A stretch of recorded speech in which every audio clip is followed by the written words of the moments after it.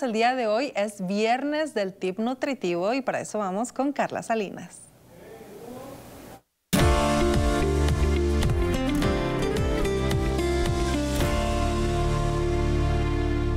Hola, ¿qué tal? Mi nombre es Carla Salinas y es un gusto poder compartir contigo el tip nutritivo del día. Estoy segura de que este tip te será de mucha utilidad, especialmente porque hoy es Viernes Santo y queremos consentirte con una opción algo peculiar y sobre todo el ingrediente no tan común que de seguro lo has visto muchas veces en el supermercado y lo has dejado pasar de largo, el tofu. El tofu es una proteína de origen vegetal que podemos encontrar que tiene un esquema de proteína completa, aminoácidos completos, lo cual nos da la equivalencia a tal cual un producto de origen animal, un pedazo de carne, un pedazo de pollo o un pedazo de pescado. Tiene 8 gramos de proteína por porción y este tipo de proteína de origen vegetal es tan completa que si estás buscando dejar de lado la carne o inclinarte por una dieta vegana, esta sin duda es una gran opción. El tofu también, aparte de ser una proteína de origen vegetal, nos ayuda porque tiene un alto contenido de isoflavonas. ¿Qué son las isoflavonas?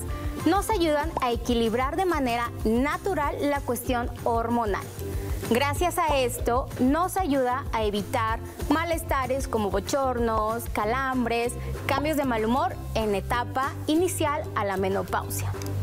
También nos ayuda a fijar el calcio en huesos, por lo cual lo recomendamos para así de esta forma prevenir la osteoporosis a largo plazo. Ahora, si estás dejando de lado el consumo de carne, esta es una gran opción, ya que puede ser tan versátil que puede ser en modo salado, en modo dulce, como tú quieras. Bien lo puedes usar a la plancha con una guarnición de verduritas o en licuados. Puedes agregarlo a tu yogur como si fuera un quesito cottage. Tiene una infinidad de preparaciones este tofu que muchas veces lo vamos a encontrar en la sección de comida oriental. Ahora, hoy queremos presentarte una receta totalmente diferente para consentir a todos en casa. Y es que podemos preparar un helado de tofu delicioso y completamente vegano. ¿Qué necesitamos para preparar este helado? El tofu así tal cual, una barrita. Vamos a llevarlo a la licuadora y vamos a añadir dos plátanos congelados.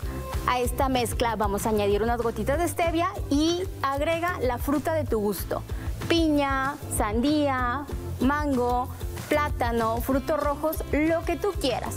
Licúalo por unos minutos y llévalo a un refractario.